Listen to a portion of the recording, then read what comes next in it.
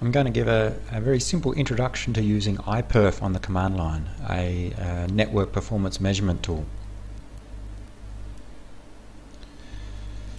iPerf is, can be used to generate packets to be sent using either TCP or UDP uh, from one computer to another. Uh, and therefore, and from that it measures the throughput and other performance metrics. So here I'll use it just to demo sending packets from my laptop to another computer on the same LAN, which is connected um, to a switch. So in fact, my laptop's connected via a wireless LAN to the to the wireless router, which is also a switch, which is then connected direct to the other PC.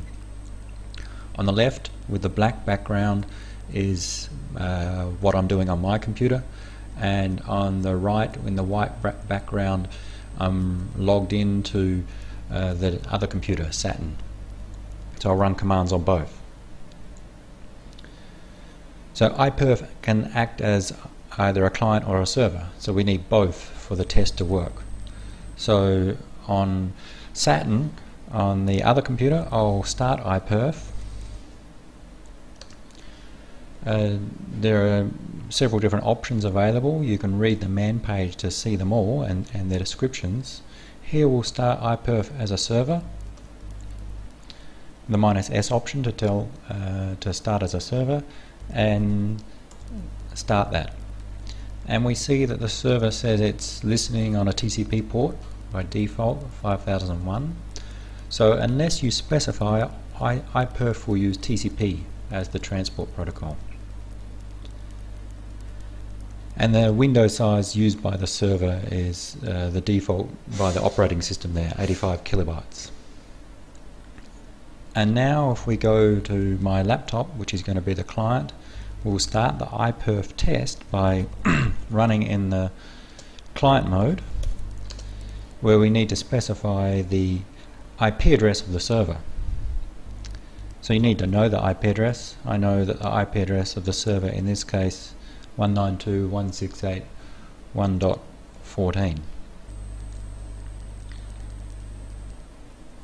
And there are other options, but let's just see with the, the basic test. We start the test and it connects from the client to the server and it's now running the test by sending packets as fast as possible from the client to the server. And by default it runs for 10 seconds. So at the end of that 10 seconds, both the client and server reported the results of the, the test. So we saw that on my computer, on the left hand side, that I connected to the server. I used on my client the port 53828. It transferred over 10 seconds, uh, 17 megabytes of data, which averages to 14.2 megabits per second.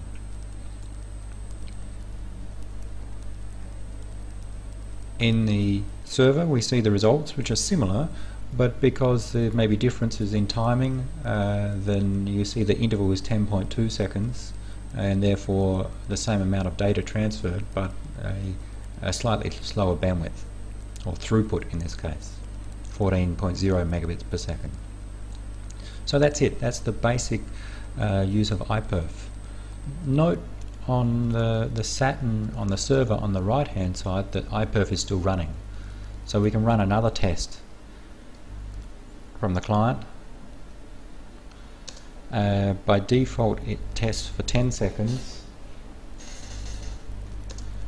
We can change that with the minus T option. And it starts another test, connects to the server and for 20 seconds sends as much data as possible. TCP, the transport protocol limits the, the throughput using its flow control, congestion control and error control mechanisms and at the end we see a, a throughput or a bandwidth of 18 megabits per second. So that's an example of using TCP so essentially iPerf is an application that generates the data uh, and sends it to the transport protocol as fast as possible and it's up to the transport protocol to deliver it to the destination. We can also run tests using UDP instead of TCP, where we're not limited by the, the transport protocol mechanisms. That is, UDP just sends as fast as possible without uh, any error control, congestion control, or flow control. So let's, on the server, on Saturn, on the right hand side, cancel the server, and we'll start the server again, but in UDP mode with the minus U option. So it's now listening on a UDP port. And on our client, on my laptop, in the left hand side, we will run a test to the same destination using it's a client, the minus C option, and the minus U to tell it to use UDP. And with UDP, we need to specify the speed at which the application will send. With TCP, we do not do that. The application simply delivers data to the transport protocol, and TCP, the transport protocol, controls the speed. Here, UDP does not uh, control the speed, it delivers as much as uh, it possibly can across the link or across the network. So we need to specify some sending rate of the UDP client using the minus B option for bandwidth and I'll set it at 2 megabytes per second. 2 megabits per second sorry 2 M. And start the test.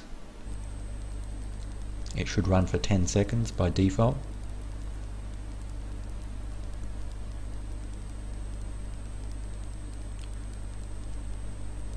And we see the results at both the, the client and the server. So focusing on the server on the right hand side, uh, over that 10 second period there were 2.39 megabytes of data transferred which averages at a bandwidth or a throughput of 2 megabits per second which is what we'd expect. Our UDP client sends at 2 megabits per second, we cannot get any higher than that and because our network capacity is sufficient, we receive uh, at 2 megabits per second. With the UDP test, the server also reports uh, a jitter, the variance of, of the delay between packets, and any packet loss. In this case, no packets were lost. One datagram arrived out of order. So that's it. With iPerf, we can do simple tests between a, a, client and a server of the network performance, primarily the throughput, but also other factors like packet loss. With TCP, you simply specify um, the server that you want to connect to, and you can specify the time as an option, and it will send as much data as possible and report the throughput. With UDP, you need to also specify the sending rate at the client. By default it would be 1 megabit per second. And we can stop the server